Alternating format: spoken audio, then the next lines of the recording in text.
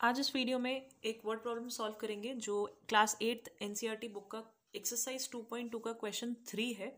तो देखो क्या कहता है question the base of an isosceles triangle is four by three centimetre तो मैंने आपको पहले भी बताया है कि आप जब भी ये क्वेश्चन सॉल्व करेंगे, आप जैसे ही एक लाइन पढ़ेंगे, अपने नोट्स बनाएँगे। तो एक आइसोसेलस ट्राइंगल है, अब इस क्वेश्चन को करने के लिए सबसे पहले ये क्लियर होना चाहिए कि आइसोसलिस ट्राइंगल होता क्या है। तो आइसोसलिस ट्राइंगल वो जिसकी दो साइड्स इक्वल होती हैं। कोई भी दो साइड्स तो लेट सपोज़ ये दोनों साइड्स इक्वल है, ठीक है?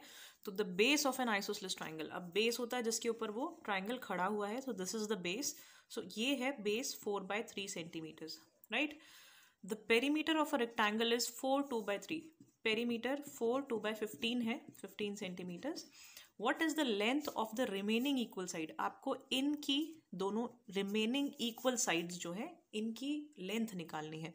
तो क्वेश्चन समझ आ गया तो आगे बढ़ते हैं। सबसे पहले हम इक्वेशन बनाएँगे। आपको पता होना चाहिए पेरीमीटर ऑफ़ रेक्टेंगल का फॉर्मूला है तीनों साइड्स का सम पेरीमीटर मतलब यहाँ से अगर आप स्टार्ट करो चलना, पूरा चल के आप वापस इसी पॉइंट पे आओ तो दिस इज़ कॉल्ड पेरीमीटर तो पेरीमीटर क्या होता है? This side plus this side plus this side so side A plus side B plus side C ऐसे हम A B C sides denote कर देते हैं इससे। तो पेरीमीटर इज़ तीनों साइड्स का सम अब आप पहले लिखोगे लेट द इक्वल साइड्स भी एक्स अगर ये एक्स है तो दूसरी भी एक्स होगी। कोई भी वेरिएबल यूज़ कर सकते हो, ठीक है?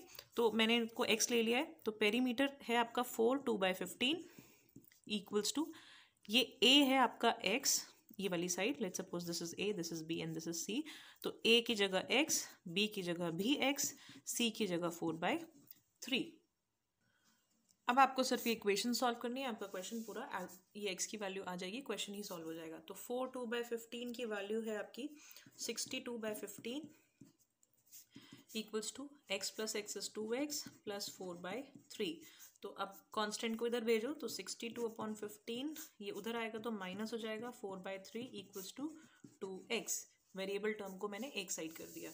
ठीक है? फिफ्टीन और थ्री का एलसीएम लेंगे तो fifteen and three LCM would be fifteen sixty two minus three की टेबल में फिफ्टीन आता है फाइव पे five four is twenty equals to two X तो सिक्सटी टू में से आप ट्वेंटी माइनस करेंगे तो forty two upon fifteen equals to two X two इधर मल्टीप्लाई हो रहा है, जब वो उधर जाएगा तो डिवाइड हो जाएगा।